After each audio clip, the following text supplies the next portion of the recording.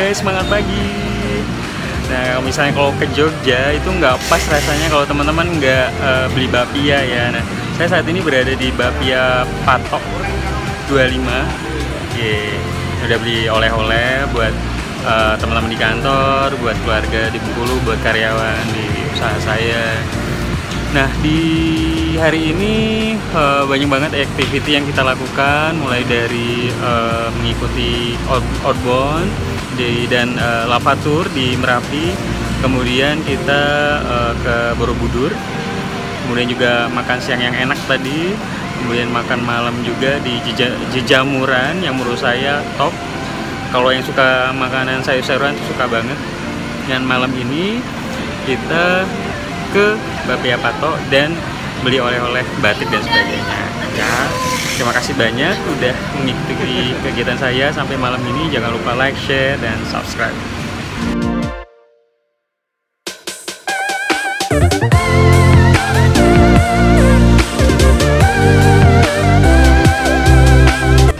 Halo guys, semangat pagi. Jadi kali ini saya berada di Jalan Malioboro. Jadi kita pengen cari batik sebelum besok balik pulang ya. Jadi yang saya paling sukai dari Yogyakarta itu ya Jalan Malioboro ini. Jadi uh, banyak pedagang-pedagang kecil yang menjual oleh-oleh mulai dari batik baju kaos dagadu macam-macam ya dan lain sebagainya. Dan saya suka menginap kalau di sama keluarga itu di daerah Jalan Dagen gitu Jalan Dagen. Nah kalau sekarang saya pengen uh, menuju ke Murotai Batik. Cuman udah jam 9 kurang nggak tahu ini udah masih masih buka atau enggak cuman kita coba coba jalan lagi ya. Oh iya ada yang unik. Kalau dulu kan kalau misalnya di uh, Jogja itu kalau misalnya uh, becanya kan pakai sepeda gitu ya. Sekarang udah mulai kalau misalnya teman-teman lihat udah menggunakan uh, mesin motor ya. Kemudian kalau delmanya masih tetap tetap ada. Saya terakhir ke sini tahun 2015 terakhir ke sini ya. Pada saat uh, adek itu wisuda uh, di Akpol di Semarang. Jadi dari Semarang itu saya ke Jogja menginap di Amira Butik Hotel di daerah Jalan Dagen. Jadi cuma jalan kaki aja. Kemudian hotelnya juga ya recommended lah murah meriah.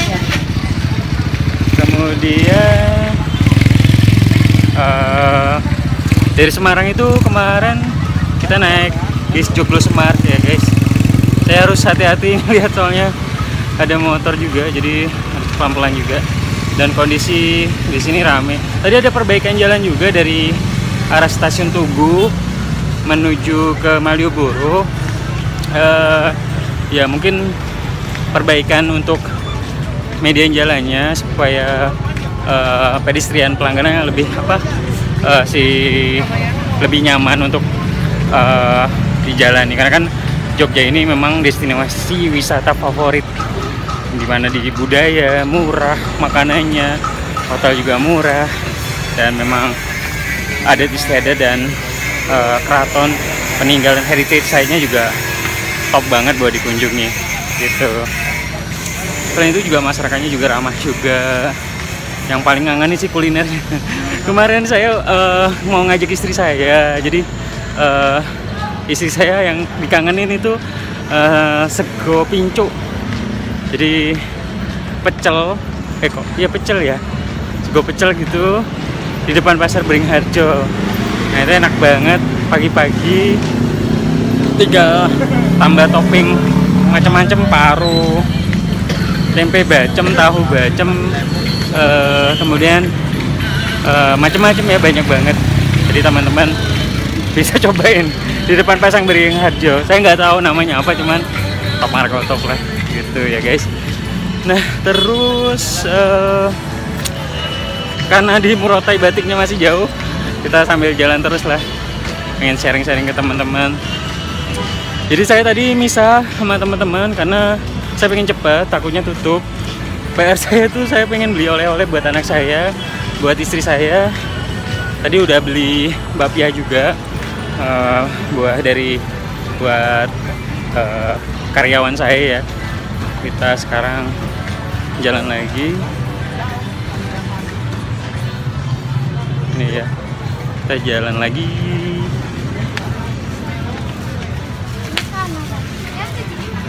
Nah ini ada konstruksi perbaikan konstruksi di sini ya guys. Dari tadi di ujung sana juga ada perbaikan. Kalau ya mungkin semoga biar tambah nyaman lagi. Ini di kiri kanan ini banyak penjual oleh-oleh ya. Cuma memang terkadang ya memang harganya murah banget cuma terkadang ya nggak bertahan lama. Jadi kadang lebih baik berprinsip beli kualitas yang bagus tapi bisa dipakai bertahun-tahun ya. Seperti itu yuk kita jalan lagi. Ada mbak-mbaknya cakep. Cuma saya lebih tertarik ke Murotai mau beli oleh-oleh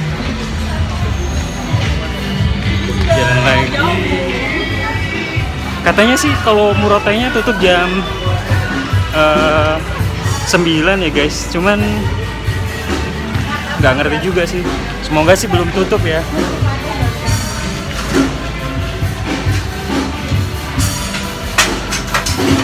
Kelihatan kok nggak begitu rame cuman kelihatan long weekend minggu depan pada rame. Cuman anehnya kemarin Pak Samsurija manajer saya pengen cari uh, hotel di daerah sini Malioboro ternyata udah pada penuh loh guys. Aneh juga. Buat ini Kamis Jumat Sabtu Minggu ini. Pada penuh semua. Luar biasa. Liga ini perbaikan konstruksinya. Jadi harus hati-hati. Ya semoga mungkin sebulan dua bulan ini selesai. Cuma sayangnya saya besok udah pulang. Entah kapan lagi bisa ke sini bareng keluarga.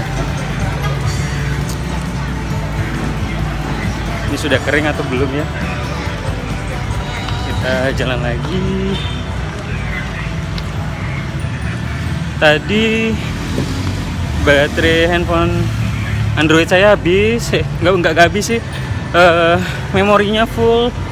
Terus kamera saya mirrorlessnya juga full juga. Belum saya pindahin. Uh, masih banyak PR video yang harus saya upload karena beberapa hari ini kemudian video-video sebelumnya juga belum selesai di editing. Jadi kita coba buat perlahan-lahan. Nah, lumayan melelahkan. Minggu depan juga saya akan ngetri bareng keluarga juga uh, Singapura dan Johor. Ya kita nanti buat vlog lagi makanya PR saya banyak minggu ini buat vlog. Nanti uh, saya akan upload. Makanya jangan lupa like share and subscribe ya. Ah, melelahkan juga. Ini kelihatannya ada sekilo deh. Mau ke Murotai batik di ujung sana. Ah. sebenarnya saya PR saya itu pengen ke toko komputer juga guys. Banyak checklist yang kemarin pengen saya beli cuman uh, apa ya belum takutnya udah tutup di amplasnya Burukmo Plazanya ya udahlah yang prioritas-prioritas saja yang saya dahulukan dulu ya. Ini kelihatannya jalan Dagen ya. Cuma lupa saya. Nah guys, ini becanya sudah pada bermesin motor semua. Jadi nggak di kayu lagi. Cuma masih ada yang versi yang kayu karena kalau bermotor kan lebih manusiawi juga lebih nyaman juga buat si bapak becanya gitu. Ya mungkin itu dulu. Saya masih jalan ngos-ngosan ya guys. Kita menuju Murotai Batik. Semoga belum tutup. Ya yuk kita jalan lagi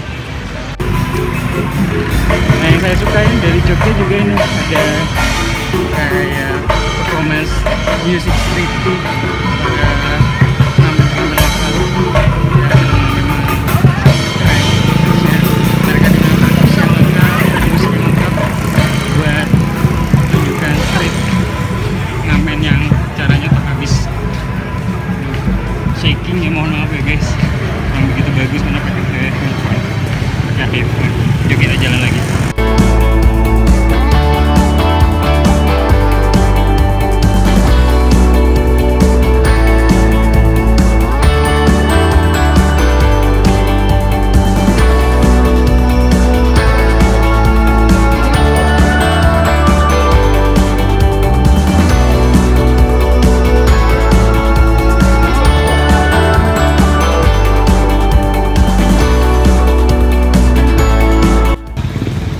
Di belakang saya ini Pasar Beringharjo.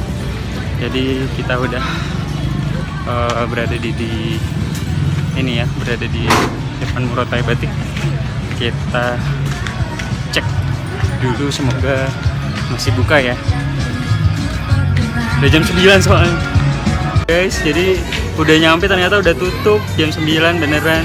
Jadi udah uh, besok saya pesawatnya jam 11 cuman kelihatannya nggak keburu kamu ke sini ya udah deh kita beli yang ada aja di depan sini oleh-oleh buat anak sama istri saya mungkin itu aja sharingnya teman-teman uh, perjalanan saya di uh, Jalan Malioboro uh, mungkin itu aja kegiatannya sangat padat banget dari pagi sampai malam kegiatan workshop Telkomsel Regional Sumbaksel di Yogyakarta.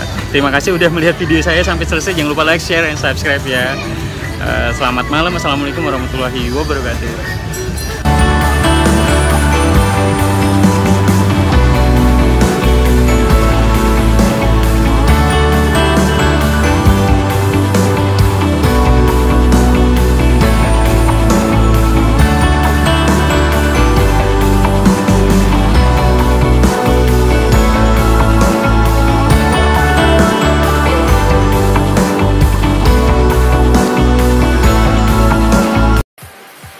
Oke okay guys, jadi uh, keesokan harinya kita uh, bersepeda ke Malioboro. Jadi uh, saya bersama rekan saya Mas Hendro Swastono kita jalan-jalan pagi hari sekitar jam 6 uh, pagi setelah kita sholat subuh kita jalan-jalan ke Malioboro pakai sepeda. Kebetulan di hotel kita di Royal Ambarukmo tersedia uh, sepeda yang bisa kita gunakan.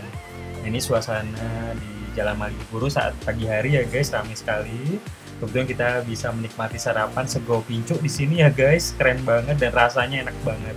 Dan kebetulan di sini juga ada parkiran sepedanya guys. Jadi sangat nyaman buat uh, pesepeda. Di sini ada nasi pecel yang enak banget. Kita cobain dan ternyata memang rame banget ya guys. Ini rasanya top abis pedas kemudian juga tempenya saya sangat suka. Ini saya sama Mas Hendro. Kita menikmati sego pincuk uh, pagi hari sebelum berangkat ke bandara ya guys. Jangan lupa kalau ke Jogja pagi-pagi bisa menikmati uh, Malioboro dengan sarapan di sini ya guys. Semoga sharingnya berkenan. Jangan lupa like, share, dan subscribe ya. Semangat pagi teman-teman.